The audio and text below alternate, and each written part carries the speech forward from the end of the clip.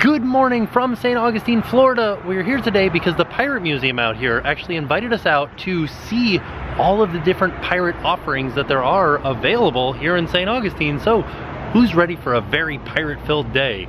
As a side note, uh, they did invite us out, so most of the stuff that we're gonna be doing today will be provided to us for free, but let's go check it out. First stop is the Pirate Museum. Yarg, welcome to the St. Augustine Pirate and Treasure Museum. Pretty excited about the treasure stuff.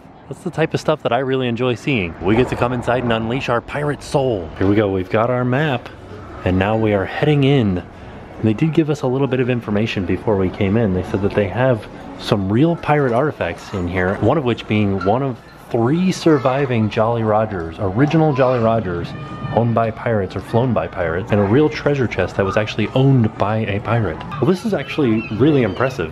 Look at the theming inside of here a little section on navigation right here. Wow, this would be like where I would sit to look at a map. Oh, also, there's a treasure hunt. They said any drawer that has a skull and crossbones on it, open it up. So our very first thing that we found is a charting kit from 1690. So we're gonna write that in our box there. They said that this museum has over 800 genuine artifacts and I believe that all of these are genuine.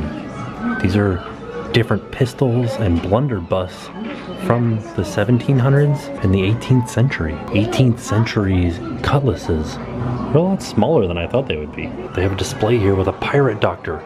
Look, there's a peg leg right there. Also, this is this is pretty intense.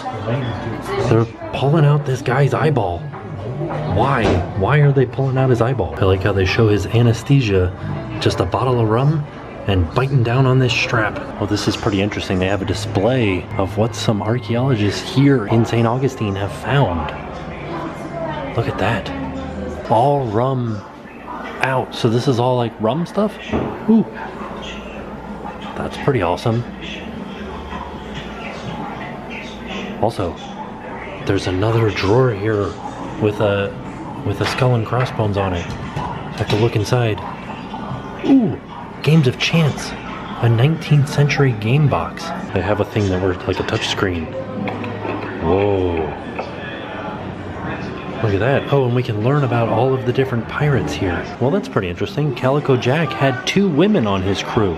The person who founded this museum found Sir Francis Drake's treasure.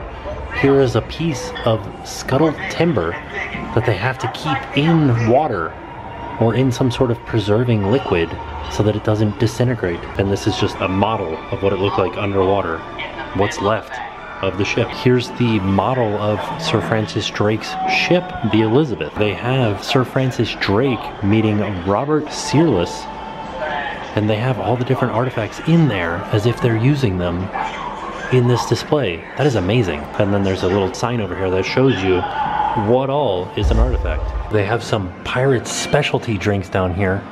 I like this one. The Kill Devil, Blackbeard's favorite drink, rum laced with gunpowder, a deadly drink said to kill the devil himself. Why would that be your favorite drink? Now we're heading onto a pirate ship here, heading into the main deck. And we can go to the captain's cabin, below deck, or the gun deck. Let's head into the captain's cabin. There it is a Jolly Roger from 1850. Wow, look at that. It's seen some days, hasn't it? Here's another display of a pirate sleeping with, oh, look at, he's breathing in and out. But he's sleeping with his gun just in case. You can see he's missing a finger over there. He's also missing a leg. He's got his peg leg still on while he's sleeping just in case, just in case somebody comes in, tries to get him. He's sleeping with one eye open. This is a Mariner's magazine from 1669. Wow. So this says this is the Journal of Captain Kidd's Last Voyage from 1699.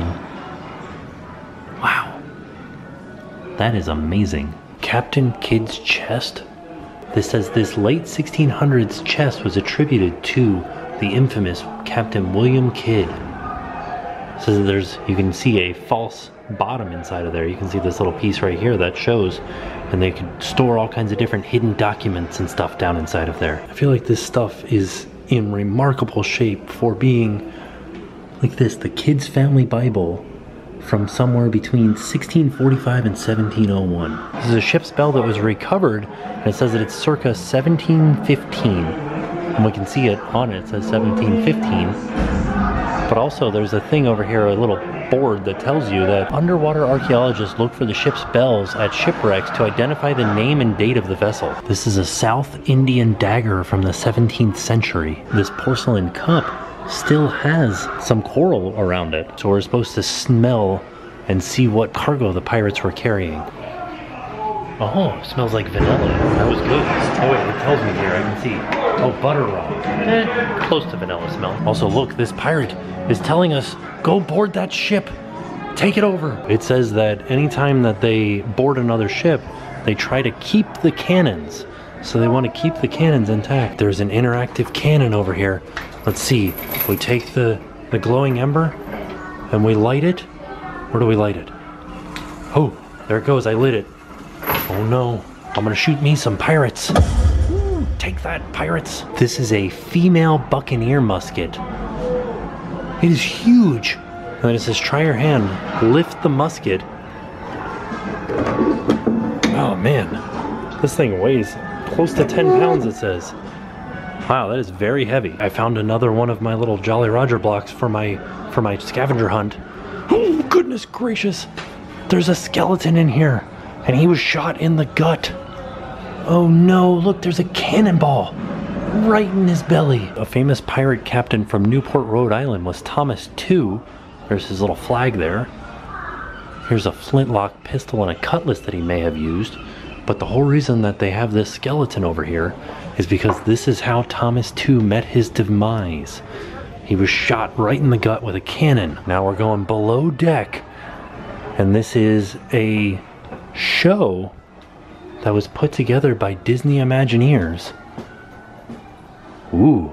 Alright, so we put some headphones on and we listen to the story of Blackbeard. So just have a seat on the crates, mates, and place the headgear on with the yellow pad or your starboard side.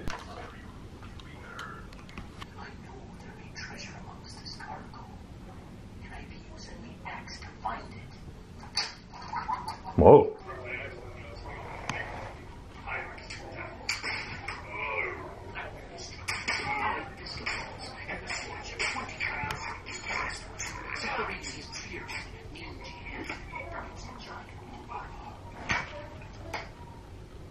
Oh no. Back onto the main deck and heading into the execution dock? That doesn't sound good. Why would I want to go in there? The oldest pirate wanted poster from 1696. What did they want? They wanted Henry Every. Calico Jack was hung in an iron cage called a gibbet and displayed at the harbor entrance so the rotting body would be seen by sailors coming into port to deter pirates.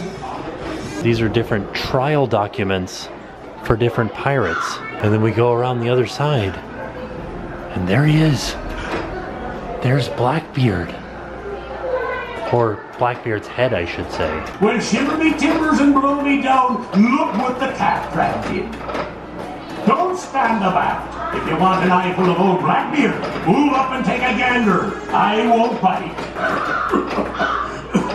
Sorry, you see, I got a bit of a sore throat. These are the riches of Port Royal. There's doubloons in there. Some jade and ivory. Wow. Here they are. They're burying their treasure. Touch a 400 year old chest. Right there. That's a 400 year old chest. Wow. That is really impressive. That is a silver skull circa 1622. It's a serpent from 1622 made of silver and jewel. This is a ship's log from 1672. Look at the little drawing of the bird that somebody put in there. There's a real piece of gold in there, and you can feel how heavy it is. This is really interesting. Fancy shot that goes in a cannon. So they have this bar shot, a grenade, ooh, an expandable bar shot. This is kind of an interesting story. Apparently in 1961, Arthur C. Clarke, the guy that wrote 2001 Space Odyssey, was diving and found sunken treasure, and we can buy one of the coins from that sunken treasure in the gift shop. This is really neat. This is all treasure. Oh, and look, there he is, looking after his treasure.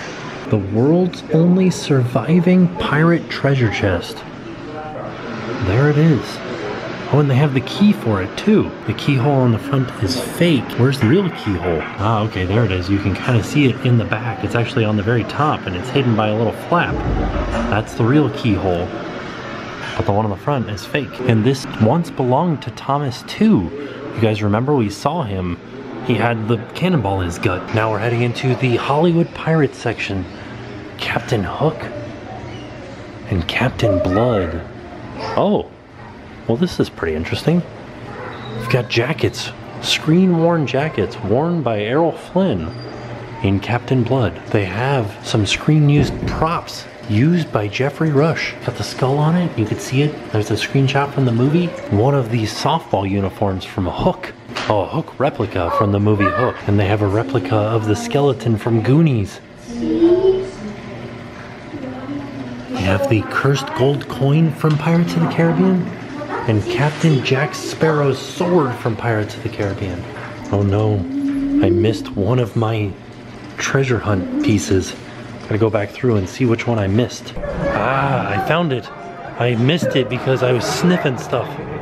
So because I found all of the different treasures throughout the Pirates Museum, they gave me a very special piece. Oh no, I dropped it. So because I found all of the different hidden treasures on the treasure hunt throughout the museum, they gave me a very special jewel. a little piece of plastic, something fun for the kids. It's got a little spot too that you can put it around like on a necklace. That's fun. I like that. Ooh, the main drag of St. Augustine is kind of popular today. So there you have it. That was our trip to the Pirate Museum in St. Augustine, Florida. Fantastic place. I really enjoyed myself at this museum. I liked seeing all the different artifacts. I like learning a little bit more about pirates. It was fun. A huge thank you to the Pirate Museum for having us out. Also, St. Augustine beautiful. We're actually right next to the Castillo de San Marcos right here. More history. Like you guys should come to uh, St. Augustine. It really is a very interesting place. It's about two hours outside of Orlando. I highly suggest a day trip out here. So with that being said, we are off. We'll see you guys tomorrow. And now it's time to pay the price.